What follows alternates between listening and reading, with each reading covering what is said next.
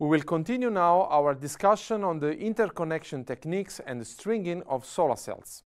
There are different ways to electrically interconnect a number of solar cells to produce a module. In the previous video, we discussed the interconnection of conventional crystalline silicon modules. In this video, we will focus on the interconnection techniques used for advanced crystalline silicon modules and the thin film technologies. Let's start with the, the new advanced approaches used for the interconnection of crystalline silicon-based modules. These new crystalline silicon modules can have integrated circuit technology, which uh, requires more advanced fabrication steps with a very precise alignment.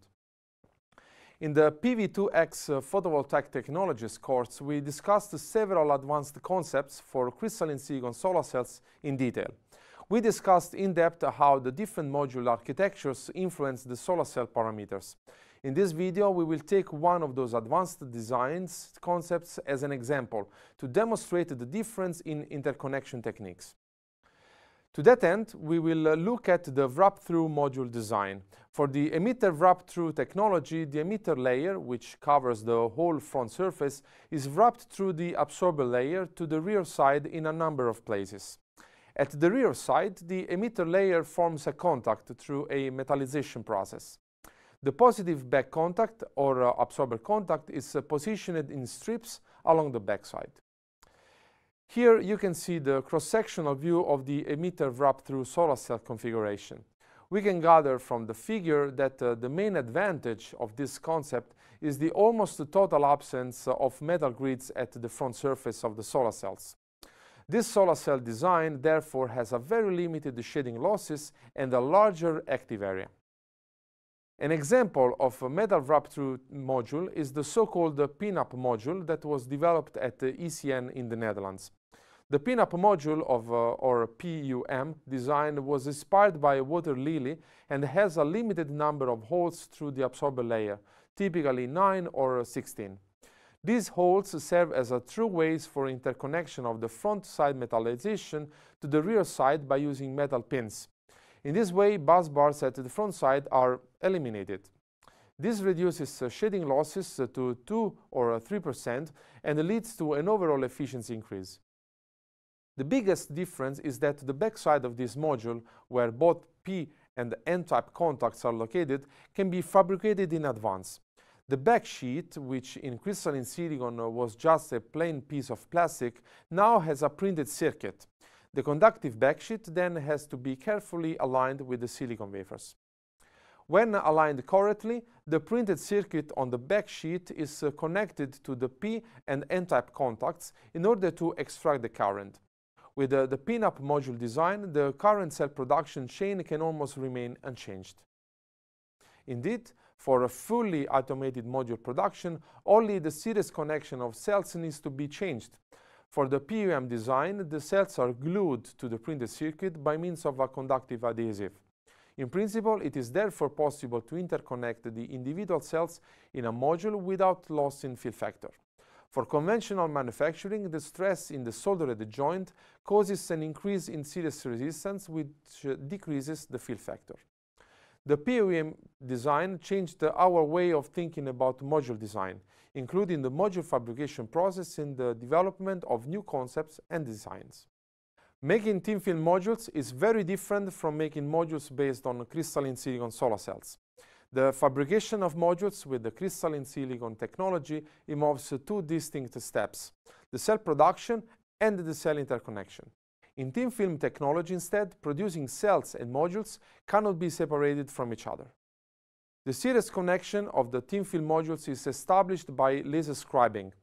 To illustrate these laser scribing steps, we will look at this uh, thin film uh, solar cell deposited in a superstrate configuration. On top of a glass substrate, the transparent front electrode is deposited. Then the first laser scribed is uh, performed, called uh, P1. The wavelength of the laser is such that it is transmitted through the glass and absorbed by the front contact. The P1 laser scribing step evaporates the material and leaves a gap in the front contact. Then the photoactive layers are deposited on top of the front contact, creating a thin film and filling the gap left by the first laser scribe. After depositing the absorber layer, the second laser scribe called the P2 is performed.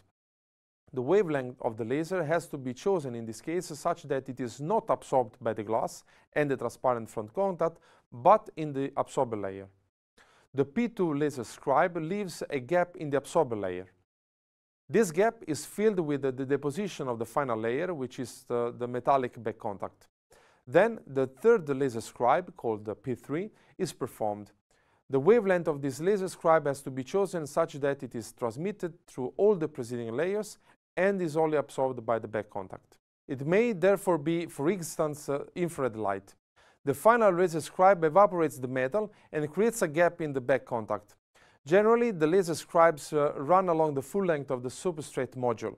We therefore end up with a module that consists of many very narrow cells of about 1 centimeter width and a length equal to the module length. If we zoom out, we can see how the current flows through the P2 scribe and connects the individual cells in series. The area in which the laser scribes uh, take place is called uh, the interconnect width. The cell width is therefore defined by the P3 and P1 scribes. Let's look also at the fabrication of a thin film CIGS module. First, the molybdenum back contact is deposited on top of the glass substrate. After the P1 laser scribe creates gaps in the back contact, the CIGS p-doped layer is deposited. The deposition of the CIGS absorber is followed by the P2 laser scribe and uh, the deposition of the cadmium sulfide n-doped layer. The front tissue is deposited last. The last laser scribe divided the single CIGS solar cell as shown in figure. Here we can recognize the total cell area and the active area which does not include the region that does not contribute to the current generated by the module. Naturally, the active area with respect to the total cell area should be as large as possible in order to maximize PV module performance. The issues related to monolithic integration are, for example, uh, the uh, fact that the laser scribes are performed in different steps during the production and therefore often with different machines. Further, the distance between the scribes might be different at different processes when they are performed at different temperatures. Aligning the glass plates in all the production steps is also extremely important for manufacturing high-quality thin film modules. To conclude, in the previous video we have seen how to fabricate a module with the conventional crystalline silicon wafers by means of series and parallel interconnections. In this video, we introduced the interconnection in some advanced design concepts like uh, emitter wrap-through and metal wrap-through modules. Finally, we discussed the monolithic integration techniques used for the interconnection of thin film solar cells.